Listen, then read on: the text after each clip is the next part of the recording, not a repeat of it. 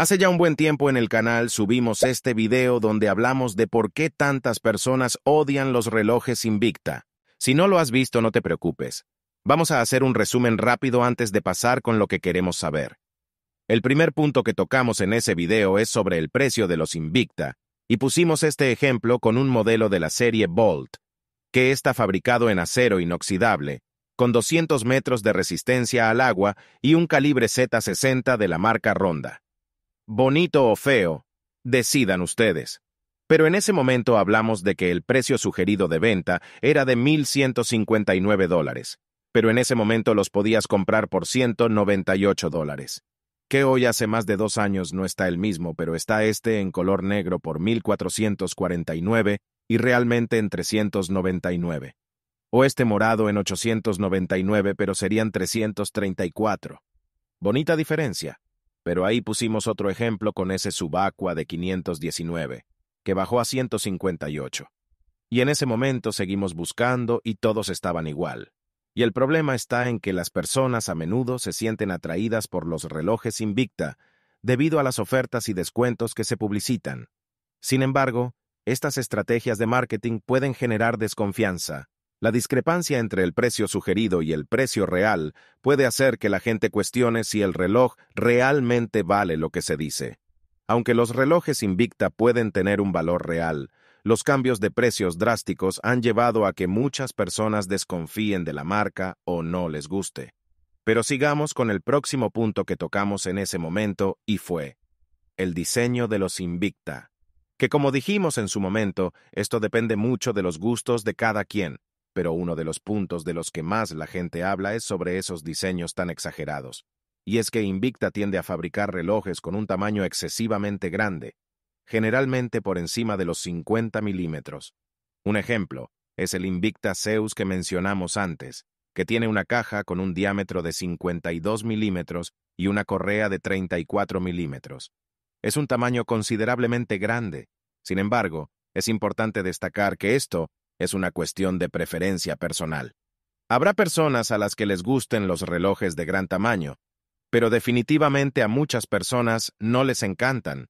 Pero hablemos del punto más importante relacionado con eso del diseño, y son los homenajes, que como lo hicimos en ese momento, vamos a hablar sobre el Invicta ProDiver, un reloj muy apreciado por los amantes de los relojes y considerado uno de los mejores relojes de buceo por menos de 100 dólares.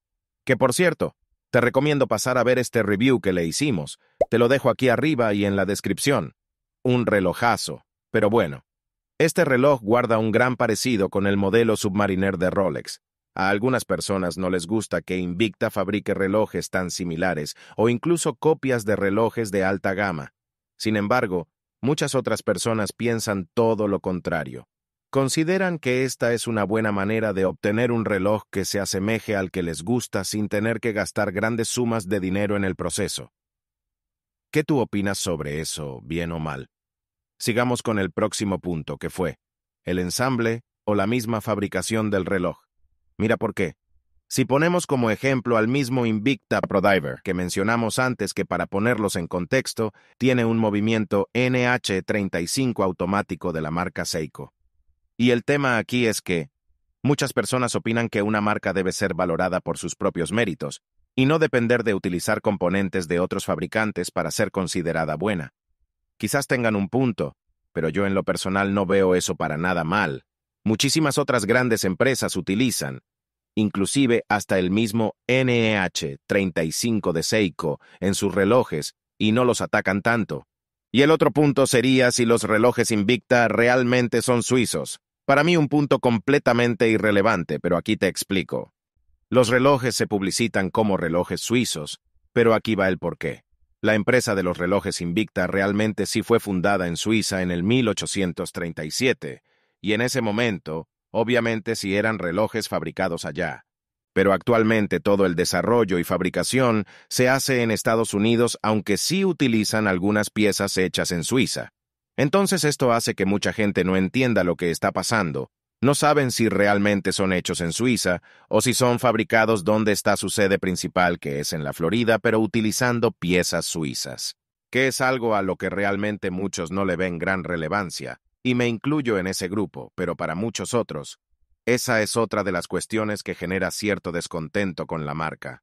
Entonces, vamos a hacer un resumen rápido de todos los puntos que tocamos. Primero, el precio. Que con esa estrategia de marketing en su misma página web están con un precio, pero siempre el precio real es de un 80 o hasta 90% menos. Este sí es discutible. Segundo, el tema de los diseños y los homenajes. En cuanto al diseño no hay mucho que decir. Eso depende del gusto de cada quien. Y en cuanto a los homenajes, aunque a mí me gustaría que no sean tan parecidos, el ProDiver me gusta bastante. Ya eso también depende de cada uno. Tercero que es utilizar piezas de otros fabricantes. También lo veo bien. Muchos otros lo hacen y si funcionan bien, ¿por qué no? Y por último, el tema de relojes suizos. Completamente irrelevante desde mi punto de vista. Coméntame aquí abajo qué opinas tú sobre esos puntos y cuál entiendes que le está dando esa mala fama a los relojes Invicta. Por aquí te voy a dejar este video para que pases a verlo y si presionas este botón te suscribes y así nos acompañas en futuros videos. Esperamos que estés muy bien. Nos vemos en la próxima.